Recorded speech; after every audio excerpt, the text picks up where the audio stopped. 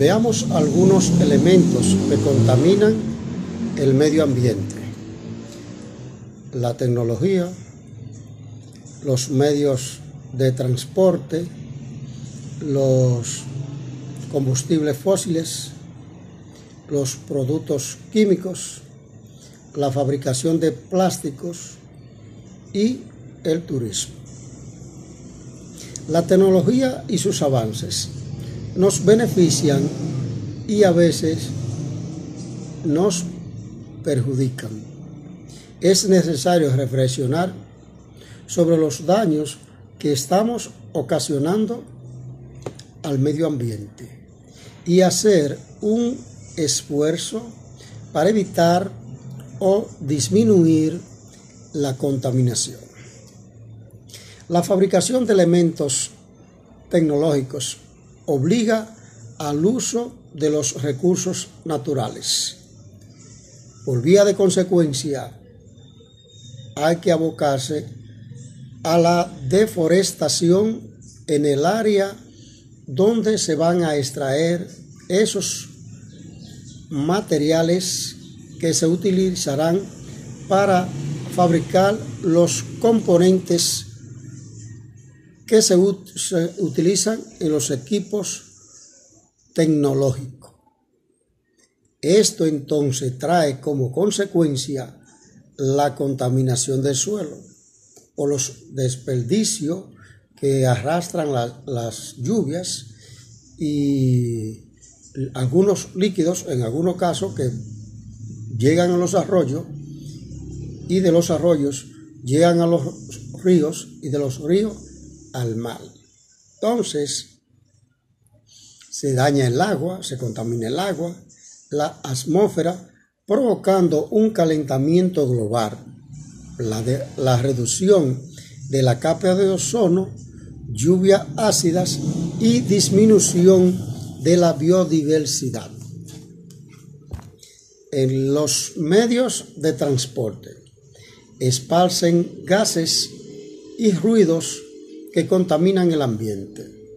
Y esta acumulación de gases va rompiendo poco a poco la capa de ozono. El uso de, de los combustibles fósiles ha producido un aumento en la concentración de dióxido de carbono, es decir, CO2, en la atmósfera, provocando un aumento de la temperatura. El mal uso de los químicos afecta a la naturaleza, ya que el exceso del uso de herbicidas, insecticidas, fungicidas y otros productos químicos que se utilizan para las labores y la producción de los productos agrícolas pueden provocar enfermedades cancerígenas.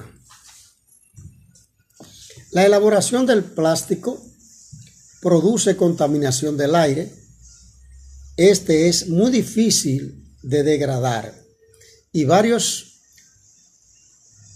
eh, animales marinos, sobre todo marinos, mueren atrapados en ellos y muestra de eso es las imágenes que hemos visto de tortuga y una serie de animales marinos que quedan atrapados en esos plásticos y eh, muchos de ellos están en vía de extinción. Pero estos plásticos, además, algunos, esterilizan la tierra, ya que los plásticos duran años y años para degradarse. Por último de esos elementos que mencionamos está el turismo, que puede afectar las áreas como las construidas y habitadas. En ocasiones, esto genera contaminación arquitectónica.